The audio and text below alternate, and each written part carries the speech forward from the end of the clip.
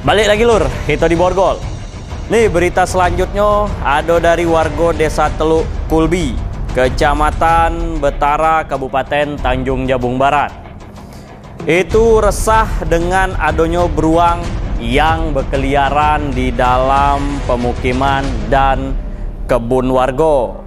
Jadi warga berharap BKSDA Jambi dapat menangkap beruang tersebut. Gimana beritanya? Kita tengok. Ini dia berita. Masyarakat Desa Teluk Kulbi, Kecamatan Betara sejak satu bulan terakhir merasa takut untuk beraktivitas secara normal. Karena adanya teror beruang liar yang berkeliaran hingga masuk ke permukiman warga.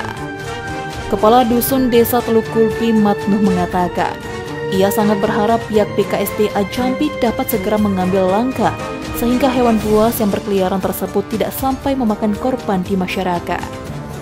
Keberadaan beruang liar ini sudah terpantau sejak awal bulan puasa lalu. Awalnya beruang hanya terlihat sekali-sekali melintas dalam perkebunan sawit dan pinang warga. Namun sejak satu minggu terakhir, beruang terlihat sudah memasuki wilayah permukiman warga. Perasaan semakin terganggu baik orang sebagai orang manin agak merasa takut, warga-warga merasa takut dan dia pun sekarang ini udah ke pemukiman masyarakat.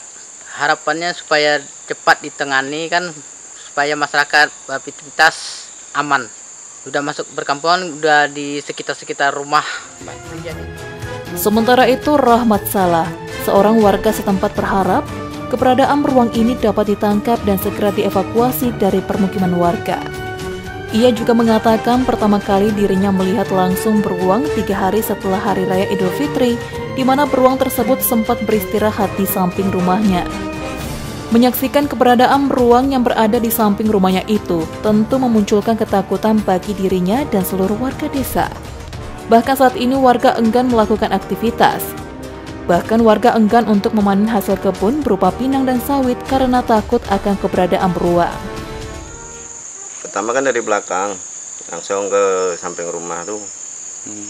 terus dia bareng-bareng di dekat rumah tuh.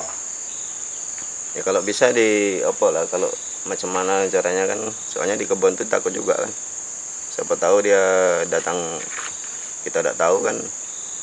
Jadi agak macam mana lah kalau bisa diusahakan macam mana kan. Ya tidak berani ke belakang lah soalnya enggak enggak ini enggak tentu dia. Surya Kurniawan Jack TV melaporkan